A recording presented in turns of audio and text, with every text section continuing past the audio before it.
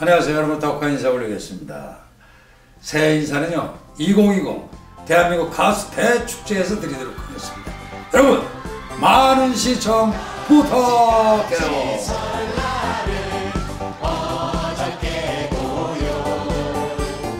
네, 여러분들 2020년에는 건강하고 행복한 일만 가득하게 바랄게요. 여러분 가정에 큰 복이 있으시길 기원합니다. 원하시는 모든 바람들이 다 이루어지시기를 모두 건강하시고요. 그리고 원하시는 일 모두 이루어지시길 기원하겠습니다. 여러분들께서 마음먹은 일들 모두 다 잘 이루어지시기를 저도 열심히 응원하겠습니다. 2020년 새해도 여러분 대박 나시고 소원 성취하십시오. 새해 복 많이 받으시고요. 올해는요, 여러분 뒷주머니에 돈 들어오는 그런 한 해가 되셨으면 너무 좋겠습니다. 여러분들의 가정에 사랑과